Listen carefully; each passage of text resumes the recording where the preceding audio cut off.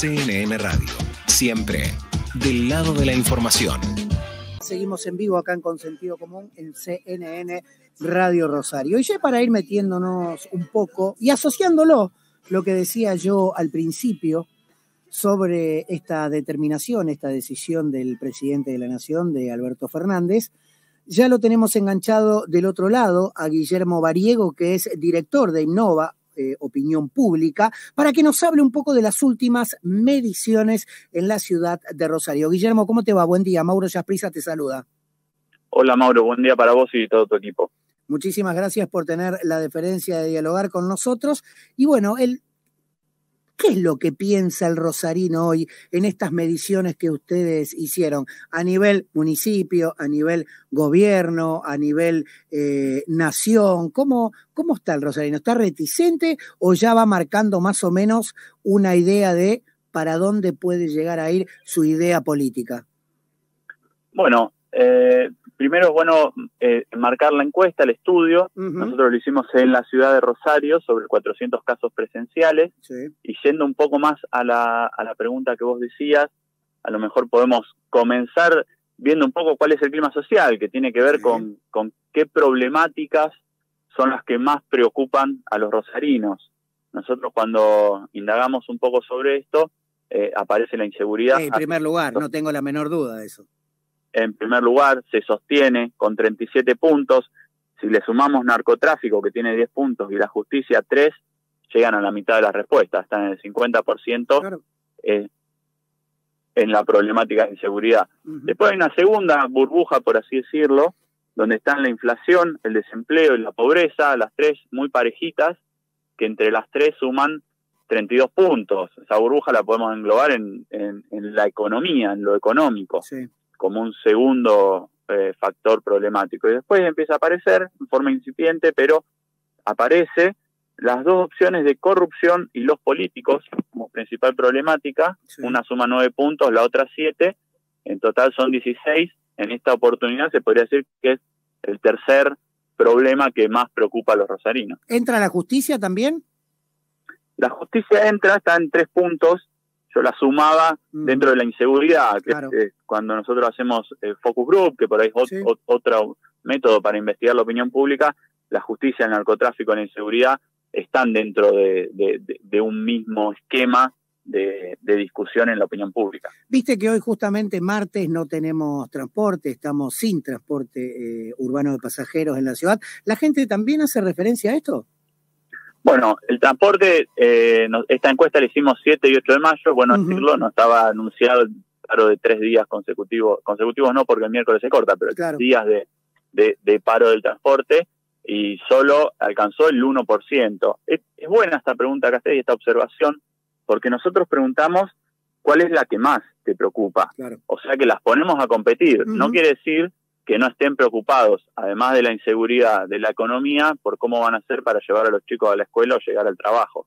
Este, es decir, esto va sumando problemáticas que después se ven reflejadas de alguna manera en que en el histórico de la valoración positiva de las gestiones.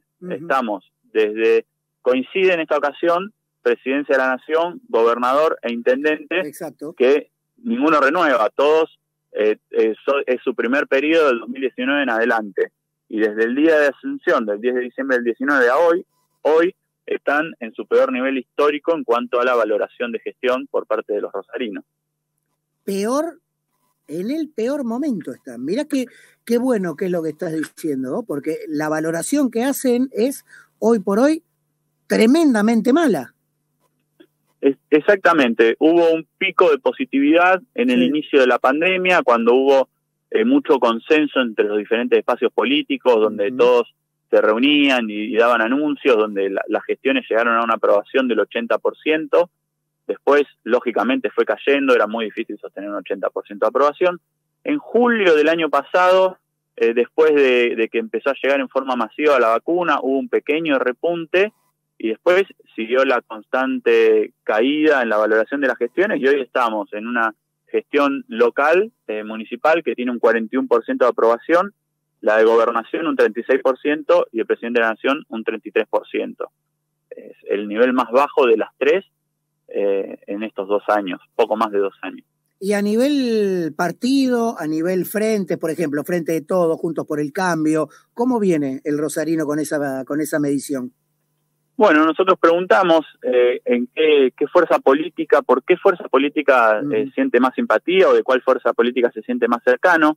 Aparece el Frente de Todos con un 24%, Juntos por el Cambio con un 19%, Frente Progresista con un, con un 11%, Ciudad Futura con un 7, Partido Libertario con un 6, empieza a aparecer, eh, la, izquierda con un 3, la UCR con un 3, también hay, que remarcar que la UCR hay parte dentro de Juntos por el Cambio y parte dentro del Frente Progresista, eh, y bueno, en ninguna independiente, un 25%, que en esta ocasión es la franja más alta. Claro, es, es, es superior.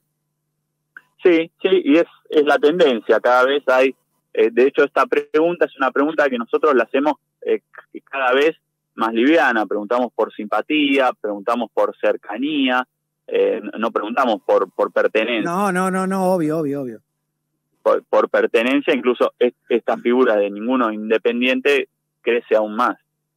Y si nos vamos al plano político electoral, digamos que el próximo domingo hay elecciones a intendente en la ciudad de Rosario. ¿Quién encabezaría hoy por hoy el mandato? Bueno, siendo esa pregunta, hay que hacer primero una salvedad. Nosotros, eh, en base a las señales que dan los dirigentes, en base a lo que se habla, en base a, la lectura política que vamos haciendo, armamos distintos escenarios. el día de mañana eh, se baja una figura y se sube otra, bueno, el resultado va a variar. Pero hoy hicimos este escenario y aparece Pablo Hapkin con 20% de intención de voto, Lewandowski con 19, ah, Sandori con de Sandori con 16, Anita Martínez con 14 y Juan Monteverde con 11. En la ciudad de Rosario para intendente. ¿Y si nos vamos a gobernador, cómo sería? Si nos, nos vamos a gobernador, aparece Lewandowski con 21%, Hapkin con 16, Lozada con 15, Delfrade con 10, Puyaro con 9, Mirabela y el candidato del Partido Libertario, porque aún no hay claridad sobre el tema, 5 cada uno, Cribaro, Busato y Clery, 2% cada uno. Y si nos vamos al, esquema nacional, aparece Javier Milei con 19 puntos, Cristina Fernández de Kirchner con 17, Larreta con 14, Alberto Fernández con 13, Mauricio Macri con 7, Facundo Manes con 6 y Nicolás del Caño con 4. ¿Qué balance podemos hacer de este escenario? Que bueno, que ningún oficialismo hoy podría garantizar sostener el gobierno. Claro. Claro, es así. Ninguno de los oficialistas podría sostener eso. Y a los duetos, directamente, si nos vamos a duetos pensando a presidente, en los espacios políticos me refiero, eh, Juntos por el Cambio, Frente de Todos, Miley. Bien, está bien esta pregunta que haces porque, claro, cuando ponemos solo el candidato aparece mi ley primero. Ahora, eh, quizás a nivel eh, local y provincial todavía no está clara la conformación de los espacios, sí se da a nivel nacional. Y a nivel nacional, si sumamos a Alberto Fernández y Cristina Fernández, están en el orden de los 30 puntos. Si sumamos a Larreta, Macri y Manes, están en los 27 puntos. Y quedaría mi ley en tercer lugar con 19 puntos. Claro, ahí está, ahí hay un caudal importante, ¿no? Con estos 19 puntos que estamos dando en un, en un guarismo totalmente distinto a lo que es el país, pero son 19 puntos que se va para un lado o para el otro y te termina haciendo una diferencia. Sin duda, sin duda, son 19 puntos de, un espacio que hoy se presenta en crecimiento, eh, que crece con un discurso eh, que tiene más que ver con un clima de opinión que con una ideología y que logra generar adhesiones en forma transversal. Obviamente que tengo que, preguntarte también algo que hizo ruido ya hace un par de semanas en la ciudad y en la provincia, lo que había presentado Amalia Granata con esta posibilidad de la vuelta del servicio militar obligatorio. ¿Midieron algo de eso? ¿Preguntaron? Preguntamos, preguntamos, eh, eh, digamos, por la vuelta, si usted está, si a usted le parece bien o no, se acuerda o desacuerda, con que tiene que volver el servicio militar obligatorio. Esa fue la pregunta, sin mayor detalle, con el, servicio militar obligatorio y no, no con, eh, digamos, opciones más y menos, salió que un, un de, de, acuerdo respondió que sí, un 40%, en desacuerdo un 57%. Lo que nosotros notamos es que es, eh, digamos, hay un desacuerdo importante, mayoritario, grande, del 57%, pero también hay un acompañamiento del 40%, que es un porcentaje que no es menor para una eh, para una propuesta que hace años atrás no tengo el número exacto ahora, pero no recibía este tipo de adhesión. ¿Y la gente ya tiene alguna imagen que a nivel nacional de los políticos, eh, Cristina Fernández, Macri, Larreta, Milei, Massa, ¿tiene más o menos alguna alguna visión sobre eso? Hay hay hay imágenes, medimos, eh, las imágenes nacionales están en un en un presente bastante negativo. Por ejemplo, Sergio Massa tiene 28 de positiva y 68 de negativa. Ah, Cristina Fernández 36 de positiva y 63 de negativa. Mauricio Macri 26 de positiva y 73 de negativa. Larreta 38 de positiva y 57 de negativa. Fernández también 37 de positiva y 62 de negativa. Javier Milei 39 de positiva, 50 de negativa. Hay mucha negatividad en en los dirigentes nacionales. Mucha, mucha negatividad por los números que estás pasando, es tremendo. Mucha negatividad, mucha negatividad se, puede atribuir eh, y, se puede observar quizás en la falta de respuesta a estas problemáticas que hablábamos al inicio de la entrevista, son problemáticas que no son de hoy, son problemáticas que nosotros vemos las mediciones de los últimos cinco años y están al pie de la demanda de los ciudadanos desde hace cinco y más años también. Y evidentemente la clase política no está encontrando respuestas que estén a la altura de la demanda de los ciudadanos. Y bueno, y eso de a poco o se puede, o de a poco no, de a poco se fue viendo y hoy se ve reflejado claramente en las imágenes negativas de los principales referentes. Preguntaron también ustedes por espacio político electoral, me refiero peronismo, voto sí al peronismo, no al peronismo, voy con el frente de todos, no voto al frente de todos. ¿Hicieron alguna, alguna apreciación de esos números? Hicimos una, una pregunta que, que estuvo motivada principalmente por esta idea del frente de frentes que está, eh, en, que sea, del cual se habla dentro de la política provincial santafesina. Eh, entonces preguntamos, ¿usted eh, en las próximas elecciones votaría al peronismo o al no peronismo?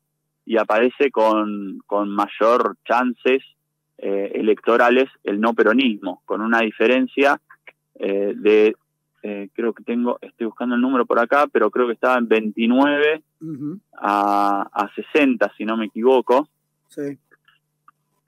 Y sí, obviamente, la, gente empieza... 29 a 54, claro, donde, pero bueno, donde vemos un, un 54% que en la ciudad de, Rosario para intendente quizás está más, más eh, desagregado, disperso entre las ofertas políticas fuera del peronismo y a nivel provincial esa dispersión no se, no se ve manifiesta por lo menos hasta ahora. Entonces eh, estaría, estaría yendo dentro de un espacio que presenta muchos candidatos, pero que se presenta como único.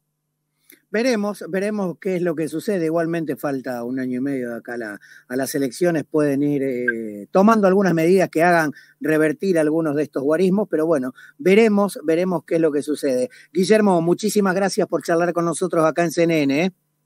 No, muchísimas gracias a ustedes. Bien, ahí pasa ahora Guillermo Variego, que es director de Innova, Opinión Pública, dándonos algunas de las últimas mediciones en la ciudad de Rosario.